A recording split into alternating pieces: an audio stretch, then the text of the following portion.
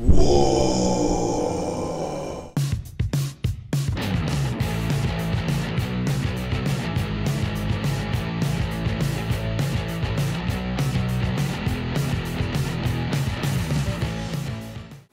zusammen und willkommen beim Chef Oberboss und zum nächsten Unboxing im Star Wars Imperial Assault Universum. Und heute geht es an das Unboxing von dem IG-88, dem Assassinen-Druiden. Der sieht ziemlich gemein aus und ist er auch. Packen wir einfach mal aus, ich habe schon aufgeschnitten. Das kennt man, die Verpackung ähnlich wie bei Star Wars X-Wing. Kann also nichts passieren beim Versand ist alles gut. Muss nur aufpassen beim Rausholen, weil der relativ ähm, ja, filigran ist. Sollte man am besten von hinten ein bisschen drücken und vorsichtig nicht so fest dran ziehen. Weil wenn man jetzt hier dran zieht, gehen unten eventuell die Beine, brechen ab. Also sollte man unten am Base am besten hier rausholen. Also ein bisschen aufpassen. Eigentlich passiert da nicht so viel. Jo, gucken wir uns das Modell mal an. Ähm, ja. Ich war ein bisschen, bisschen enttäuscht, weil so gut finde ich den jetzt nicht. Ähm, von, von der Pose auch ein bisschen langweilig, aber wahrscheinlich, äh, wahrscheinlich sieht er halt einfach so aus. Aber wir hätten ja, zumindest hier ist er auch ein bisschen cooler dargestellt, finde ich. Ähm, er sieht auch ein bisschen schlaksig aus aber wahrscheinlich ist es halt einfach dieses IG88 Modell. Und sehr wahrscheinlich sieht er nachher angemalt um einiges besser aus. Also so, so boah, gefällt er mir bis jetzt noch nicht so gut, muss ich ganz ehrlich sagen. Und ähm, ja, vom Gussgraten her sieht er aber gut aus. Da kann man nichts dagegen sagen. Auch die Waffe ist einigermaßen okay.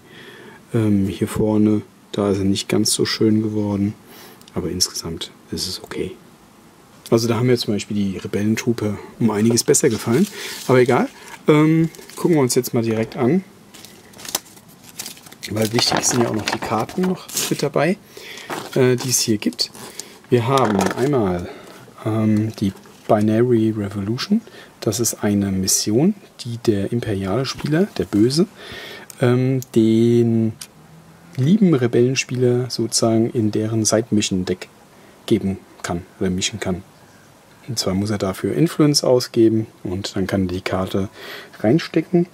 Wenn die Mission von den Rebellen abgelehnt wird, ähm, dann bekommt der, der Böse sozusagen automatisch hier den als Sonderfigur fürs, für die weiteren Spiele. Wenn die die Mission nicht schaffen, das dürften, also dürfte es jetzt nicht durchlesen hier, weil, also zumindest nicht die Rebellenspieler, ah, ist egal. Auf jeden Fall wenn, wenn die die nicht schaffen, kriegt der, äh, der imperiale Spieler halt auch den IG-88. Jo. Dann haben wir noch ähm, zwei, also eine Skirmish-Karte und zwei Missionen. Mind of Its Own und Most Dangerous Game. Ähm, die sind auch ganz nett, ist mal was anderes mit hier dem Laser, ähm, der hier irgendwie in den Gang schießt und so weiter. Ähm, könnt ihr euch auch mal durchlesen. Auf jeden Fall finde ich die Skirmish-Missionen eigentlich immer ziemlich innovativ und gefallen mir sehr gut. Da haben wir die eine, Mind of Its Own. Ähm, da wird halt der Laser rumgezogen und so weiter. Dann Most Dangerous Game. Ist auch ganz nett. Hat nur so bis jetzt auch noch nicht gehabt. So, dann haben wir hier die ähm, Karte für den bösen Spieler, Binary Revolution. Ähm, ja, da steht es halt, dass, äh, dass der Imperialspieler das dann kriegt, wenn die den wenn die, die Mission diskarden. Dann haben wir Sabotageplans. Das auch kann der Imperialspieler ähm, als mit Influence kaufen. Genauso wie Firepower Upgrade. Und das da ist die Elite-Karte, der IG88. Ähm, ja, ich würde mal sagen, für 12 Punkte hier oben. Ähm, 10 Health, 5 Speed ist sehr schnell denken wir gar nicht. Ein schwarzer Würfel ist ein bisschen schwach bei der Defense, aber der kann hier recovern, 3 Damage, das ist ziemlich gut. Hat automatisch eh schon einen Block, hat 2 Reichweite und kann 2 Damage dazu machen. Das ist richtig gut. Hier kann man die Attackenwürfel aussuchen Und er kann halt pro äh, Runde auch mehrere ähm, Angriffe sozusagen durchführen, was ja normalerweise nur die Rebellen können. Also richtig gut. Gefällt mir. Dann haben wir noch verschiedene Kommandokarten für das Skirmish-Spiel. Repair ist halt äh, Fahrzeuge oder Vehikel kann man dadurch reparieren, zweimal. Kostet zwei Punkte, kann man zwei Karten vorne im Deck haben. Merciless ist ganz gut. Ähm, da kriegt man Victory Points. Ist ja auch immer sehr, äh, sehr gut, wenn man Victory Points kriegt. Kostet eins und davon kann man auch zwei Stück haben. Das ist hier zum Beispiel der Bosk, oder nicht der Bosk, aber seine Rasse. Und das sind ja auch, äh, die haben als Hobby ähm, das Wookies jagen. Finde ich auch nicht so in Ordnung. Naja. Dirty Tricks ist ganz nett. Overdrive, das ist auch richtig gut. Kriegt jeder Druide eine zusätzliche ähm, Aktion, bekommt aber dadurch zwei Schaden. Und Place of Glory geht natürlich nur für den IG88. Ähm, ja, da kann man den sozusagen zweimal aktivieren. Kriegt aber danach drei Schaden. Aber dadurch, dass er ja eh recovern kann, ist es eigentlich ziemlich gut. Nachdem ich den IG88 vorgestellt habe, werde ich den natürlich jetzt auch bemalen.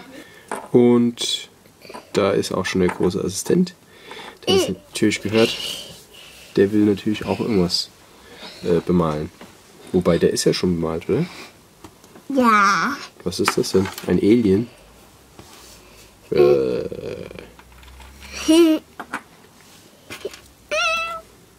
Saft. mhm. Oh, hier ist der Fuchs. Normalerweise würde ich den jetzt erstmal schwarz grundieren. Und das mache ich jetzt einfach mal. Jo, dazu nehmen wir jetzt einfach Matte Black komplett drüber über das gewaschene Modell. So. Aber auch egal. Ich, kannst du dann deine Kamera dann gleich hierhin mal kurz stellen, Papa? Gleich. Ja, was haben wir? Natürlich kann man das auch mit Spray machen. Aber bei so einem kleinen Modell, da ist es fast schneller mit dem Pinsel. Ja, genau. Genau. Genau, genau, genau. Das ist voll. Voll. Genau. Genau, genau, genau, genau. Genau. Und ihr seht auch, dadurch, dass ich es gewaschen genau. habe, perlt jetzt auch nichts ab. Genau, genau. Gibt eine schöne Farbschicht, Genau, genau. wie, wie wenn man es sprayt. Genau. Genau, genau, genau, genau. Okay, bis gleich. Nachdem alles gut getrocknet ist, werden wir das Ganze jetzt mal mit Gunmetal trockenbürsten. Große Trockenbürstpinsel, ein bisschen Farbe drauf, gut ausgestrichen und dann einfach in eine Richtung den Pinsel von links nach rechts ziehen oder von oben nach unten.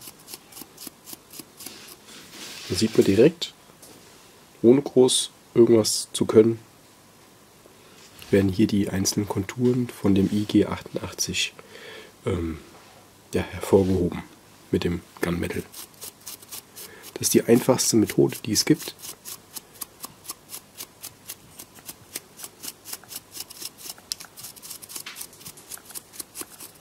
Und auch die schnellste.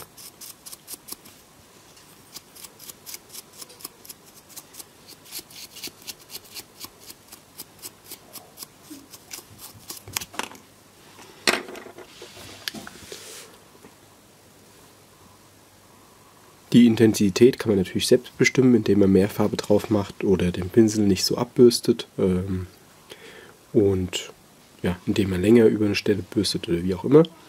Ich lasse es jetzt mal so. Sieht eigentlich schon ganz cool aus. Könnte man jetzt einfach das Base noch machen und dann ist der eigentlich schon ja, auf dem Spielfeld einsatzbereit.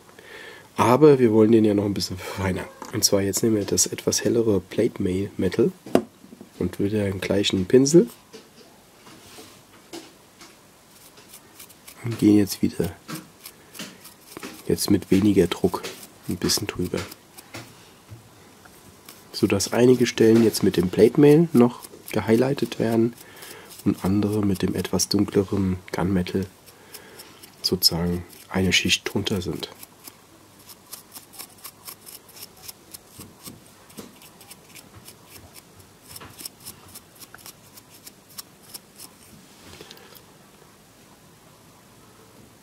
Jetzt nehmen wir das noch hellere Shining Silver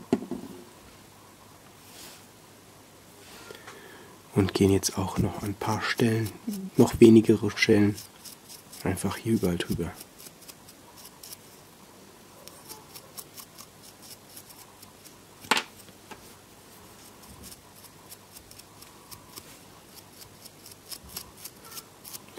So, und jetzt sollten wir den ganzen Kern eigentlich schon ganz gut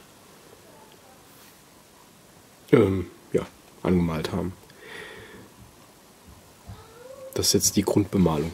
Und jetzt werden wir noch die einzelnen Linsen anmalen und mal gucken. Die Waffe wird vielleicht doch noch ein bisschen anders. Ich glaube, die ist relativ schwarz. Zugegeben, der sieht jetzt halt ein bisschen langweilig aus, so. Könnte auch ein Necron sein von Warhammer 40k. Ähm, ja, deshalb müssen wir unbedingt noch was dran machen. Ich würde jetzt mal sagen, als erstes nehmen wir Weapon Prawns und werden hier noch ein paar Kabel einfach mal so ein bisschen bronzemäßig anmalen und hier vorne die Waffe auch. Wir könnten jetzt auch einfach wild drüber brushen, würde wahrscheinlich auch ganz gut aussehen, aber ich werde es jetzt einfach mal so versuchen bisschen geordneter. Jetzt einfach mal ein paar von den Kabeln so anmalen.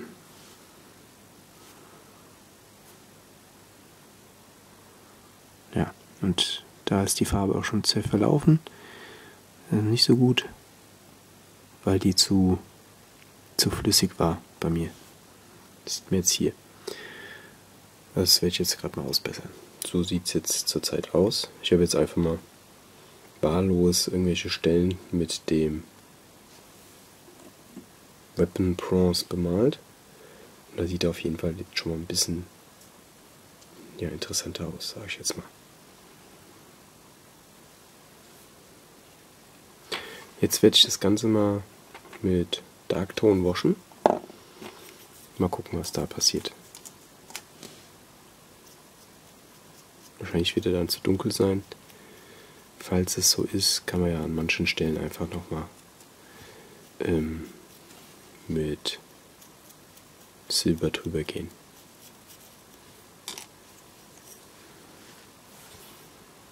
Muss mir jetzt auch nicht machen. Ist jetzt nochmal eine weitere Option. Aber ich glaube, das wird ganz gut.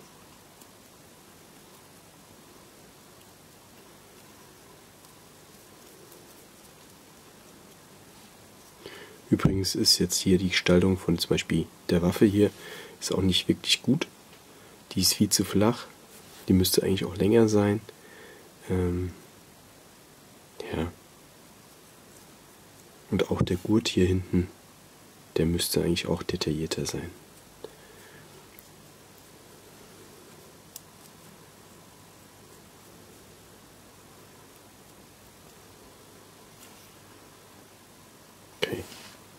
Lassen wir jetzt mal trocknen und dann machen wir noch die Linsen und dann gucken wir mal, wie es aussieht.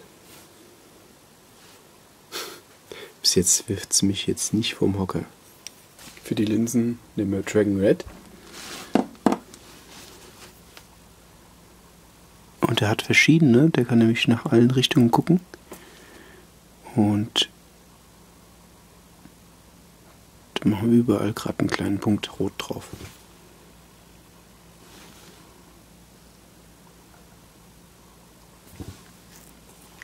Da kommt noch einer hin. Da. Und hier vielleicht eventuell in die Vertiefung. Das kann man dann aber so machen, wie man will. So kann man auf jeden Fall einsetzen. Ich habe mir jetzt gedacht, dieses Band, das diese Riemen, den er da um hat, den mache ich noch ähm, schwarz. Auf den Bildern, die ich mir aus dem Internet einfach mal angeguckt habe, da ist der abwechselnd weiß-schwarz. Das kann dann jeder so machen, wie er Lust hat. Und hier die Schnalle hier oben, die bleibt silbern. Und hier oben geht es dann schwarz weiter. Ich habe jetzt das Base fertig gemacht. Und zwar ganz normal wie bei den Rebellen auch. So ein Außenbase, ein bisschen Sand, schwarz angemalt, mit verschiedenen Grautönen drüber brushed. Das könnt ihr auch alle schon. Und hier hinten habe ich diesen Gürtel, wie auf diesen Bildern aus dem Internet. Einfach hier noch ein paar weiße, mm, weiße Teile drauf gemalt. Die sind zwar nicht so modelliert so richtig, ich habe es aber trotzdem gemacht, sieht eigentlich ganz cool aus, gibt der Figur nochmal ein bisschen mehr Farbe. Hier vorne auch, das habe ich jetzt nicht mehr gezeigt und jo, jetzt wird er gemattlackt. IG-88 ist fertig und ich habe ihn zusammen mit dem anderen Kopfgeldjäger Bosk auf der Brücke vom Sternzerstörer von Darth Vader aufgebaut und hier empfängt er gerade in Episode 5 seine Instruktion, Han Solo zurückzuholen, gefangen zu nehmen, tot oder lebendig. Ja, fehlt eigentlich nur noch Dengar und Boba Fett und dann haben wir die, den ganzen Kopfgeldjäger-Abschaum auf der Brücke versammelt. Die kommen dann irgendwann auch noch dazu. Jo. Ist nicht das schönste Modell. Da fehlen schon einige Details, muss ich sagen. Ähm, von der Bemalung ist es halt doch relativ einfach. Aber ähm, passt gut hier ins restliche Farbschema dazu, muss ich sagen. Und auf dem Spielfeld sieht er in Ordnung aus. Im Spiel ist er auch richtig gut, gerade im Skirmish-Spiel. Und das war es auch schon wieder vom Chef Oberboss. Ich hoffe, ihr habt Spaß gehabt und schaltet demnächst ein bei mir. Daumen hoch und bis bald, euer Chef Oberboss. Macht's gut. Tschüss.